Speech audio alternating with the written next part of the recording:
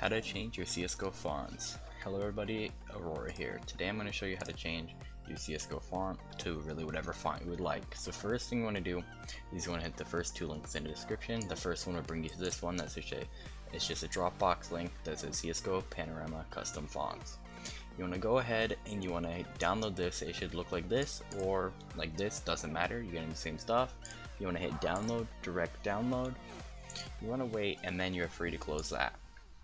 And then you want to go to the second link, so it'll bring you to dafont.com. Now you want to go ahead and pick any of these that you like. You want to go and then click this. I would recommend using DaFont because all of their fonts are 100% free to use for personal use. But when you're downloading the font, you want to scroll down. You want to make sure that it has all the characters in your language, which this one does. Obviously, it's English. Has all the characters in your language and then you want to make sure that it has all the numbers and anything that you'll need to see or be using in CSGO. So this one has obviously all of them. So you don't need these if they're not in your language, so don't even worry about that. So you want to go up here and you want to go ahead and hit download. Obviously I'm, I'm going to do it, but I already have the font picked out. So after you have it download to your desktop, you want to go ahead and drag both those to your desktop. This is the font I'm going to be using right here, so I'm not going to be dragging that one to the desktop, just showing the site works. So then you want to go ahead and open Steam, go to over CSGO, properties, then you want to go to local files and browse local files. Once you're here, you're going to want to hit CSGO, and then after CSGO, you're going to want to come down to Panorama, and then fonts. Your font folder should look like this. You want to go ahead and minimize that and you want to rename this fonts underscore backup. You can really rename it whatever you want. Just fonts underscore backup is easy to remember so that we know that it's the fonts folder or the original fonts folder or original fonts config. So fonts underscore backup. Then you want to go ahead and open the CSGO Panorama custom fonts by double clicking it. You can launch it with WinRAR or really whatever you want. Then you want to just drag all of these and drop them in here.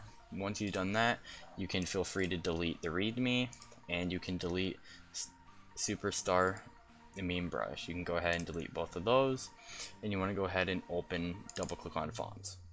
Then you want to go ahead and move that to the side, double click on whatever font you just downloaded and then you want to go ahead and move the .ttf into, into your fonts folder over here. You want to double click on that you need to remember this font name because it's what you're about to configure. Really easy to do. So that's our font name. We're going to go ahead and hit install. We're going to go ahead and replace it and wait for it to install. And now that that has installed, you're going to go ahead. You can close this now and you can close this. Now we're going to open this and you want to go down to right here. Now if you're not using a .ttf, you can you can change this like if you're using an OTF you want to change it to OTF but we are not we're using a TTF so you want to go ahead and get the name of your font. Go ahead and do that right here and you want to replace the font right here. You want to go ahead delete that line paste it in with your font name make sure it's exactly what you saw on the previous screen what I told you to remember and then you want to scroll all the way down. Now what we're about to edit, you can edit this all at once if you have something like Notepad++, but I do not. So you want to go ahead and go over every superstar and replace it. There should be only six of them. It's really quick to do, only takes a few seconds. So after you are done deleting all of these and replacing them, I'm just doing it manually because it's easier for you guys to see what's going on. So there should be six of these that you just changed here, and then there should be six of them that, or there should be six down here, and then seven including the one at the top. You want to go ahead and close that. You can go ahead and save that. And now we're going to go ahead and launch CS, and I will see you once it starts.